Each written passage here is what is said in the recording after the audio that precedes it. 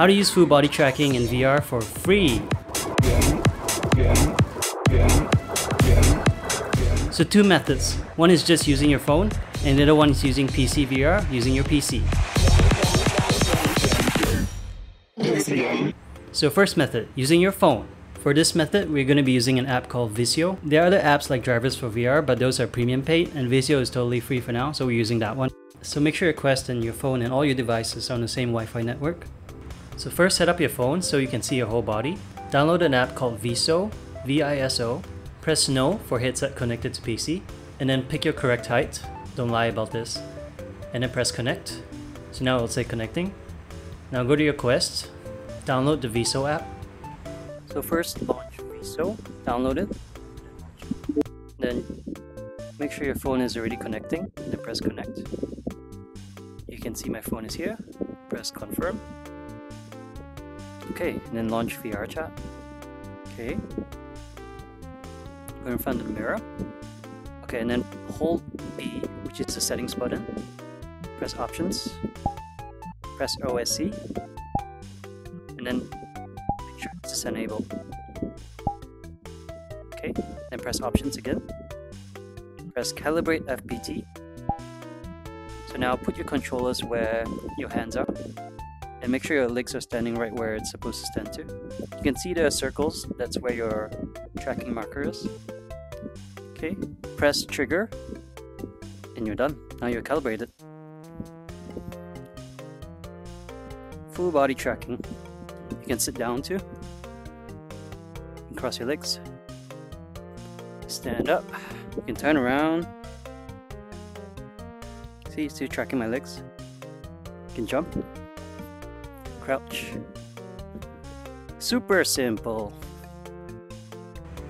And the second method, using PC VR. Okay, so first thing you want to do is download MediaPipe. The link is in the description.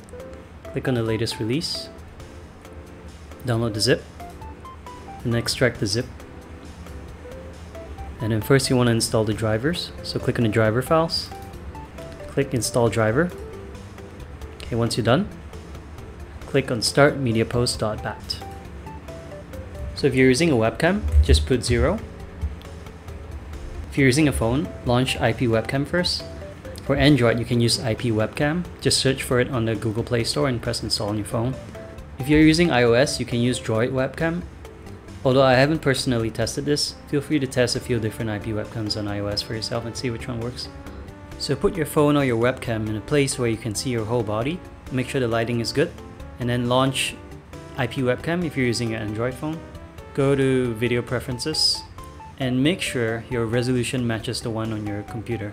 So for me it's 640 by 480. You can check it out later on your uh, check it out later in your PC and see.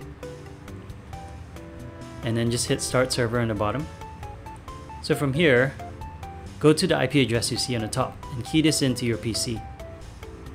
Make sure at the end of your IP address to key in 8080 if it's 8080 and then slash video. Don't forget to type in video.